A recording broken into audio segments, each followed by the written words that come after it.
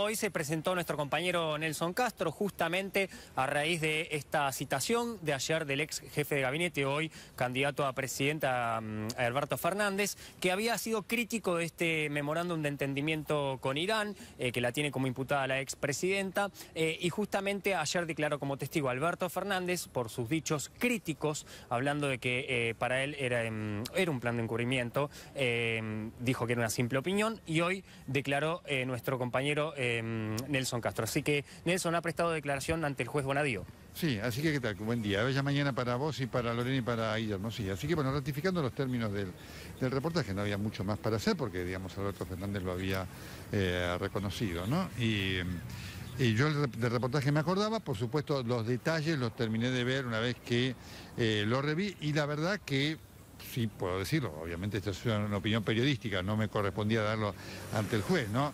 Eh, allí Alberto Fernández no dio ninguna opinión política, dio una opinión jurídica. Él habló de un encubrimiento en términos jurídicos, claro, y lo explicó, inclusive en el reportaje, explica en su Además lo hace con mucha claridad porque él es docente eh, de la Facultad de Derecho, ¿no? Así que esto ya es la opinión mía. ¿No? Eh, lo que él habló. Él en el primer minuto y medio, si ustedes le prestan atención al reportaje, habla de la, menciona la palabra encubrimiento siete veces.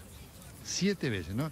Y él dice Cristina Fernández de Kirchner va a dejar el gobierno con dos máculas, eh, que son dos medidas tomadas para protegerse. Una, el caso Vudú, y otra, el caso eh, AMIA por el, Así que son opiniones muy contundentes en cuanto al peso jurídico. Está hablando de dos delitos. ¿eh?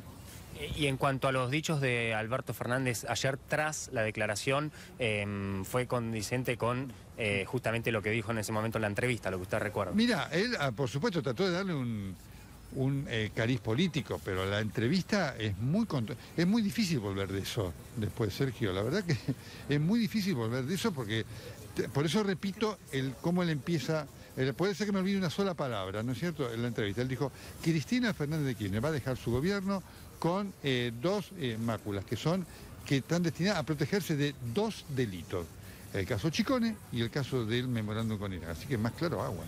Incluso él en, una parte de la entrevista eh, habla como de instigadora y, de, los personajes secundarios que rodean ¿no? a Cristina. Él habla, rodeaban, perdón. Él habla de Cristina como instigadora, ¿no es cierto? Y después de los ejecutores, que son estos personajes secundario, ¿no es cierto? Y entonces en algún momento, eh, tanto que él cuenta el encuentro con Nisman, cuando se encuentran en el supermercado para fin de año, porque eran vecinos, además Alberto Fernández lo conocía a Nisman, porque además él había estado, la eh, unidad fiscal AMIA, se crea, vos lo sabes muy bien, Lorena también lo sabe muy bien, que lo ha sido el caso con mucho detenimiento, se crea en el gobierno de Néstor Kirchner, así que él venía siguiendo con mucha cercanía la, actividad de, eh, de Nisman y habían ha, favorecido mucho la investigación. Entonces, él cuenta que se lo encuentra en el supermercado allí, porque vivían en, Puerto Madero, y él dice, Nisman me dijo, este, ya al fin tengo probado las pruebas para el probar el encubrimiento de Cristina. Y entonces dice, y yo me reí, le dije, Alberto, el encubrimiento es el memorándum, no hace falta buscar más nada, así que muy contundente. Incluso eh, lo dijo el propio eh, Alberto Fernández en la declaración de ayer, que él tenía entendido que esa causa debía investigarse, eh, porque en una primera etapa recordarás vos que fue desestimada por el juez Rafecas, para él dijo tenía que haberse investigado más allá de la opinión que él tenía del juez, ¿no? Él cuenta de Rafecas y lo dice... en los dos minutos y medio son suficientes para ver la entrevista. Él dice, Rafecas también piensa que hay encubrimiento, solamente la discrepancia eh, que tenemos es que Rafecas piensa que como no se aprobó el encubrimiento por el, eh, digamos, el memorando no hay que investigarlo. Y él decía, sí hay que investigar, merece ser investigado toda la hechura eh, del ilícito. ¿no? es de una contundencia. ¿Sí? ¿Qué tal, Lorena? ¿Cómo te va, querida?